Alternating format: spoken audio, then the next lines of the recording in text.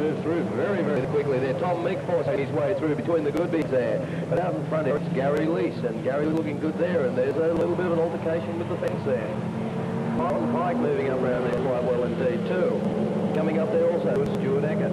But out in front, it's Gary Lease. He's going really hard. It's Eddie Hines, and Eddie said he was confident he was going to do something. There's a little bit of action over there with Tom Meek. Running very smoothly at this particular stage. Which looks like being left behind us, it could possibly be lapped at this stage. 118 car, Damian Harvey moving through there too. Tom Meek coming up the inside there, but he's looking pretty good there. Eddie Hines. Eddie Hines is going at it. Gary Lease and uh, the racers at this stage uh, really in a quite a and uh, certainly getting it to the ground today. Oh, Tom Meek going at the races there.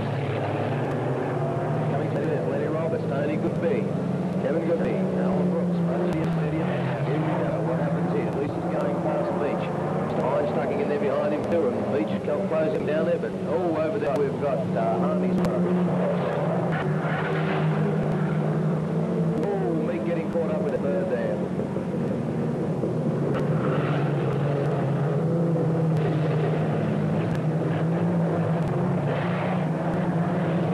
They're leading the race still, Gary Lease, and they're starting to come through very well indeed. Gary Lease and Eddie Hines really making a run of it here. Now we should see some action. We've had a roll over, yes, we've had a roll over. Number five, and that was Bird. Some wild man Fender Bender up here.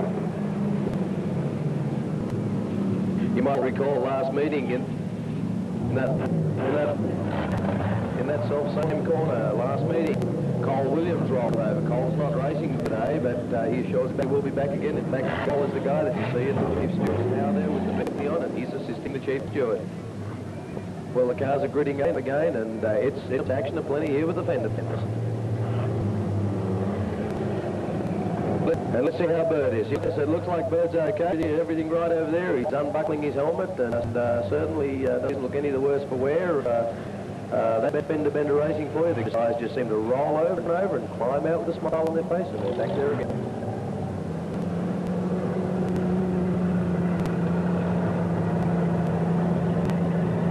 It's a bit of bad luck there for Darrell Bird. Darrell, uh, he's out there on the infield there, and he's he's got a smile on his face, and uh, and uh, we'll sure we'll see Darrell back here again. First time back for Darrell, actually after an 18-month layoff from Fender Bender Racing, and I'm sure that that's a good reintroduction for him.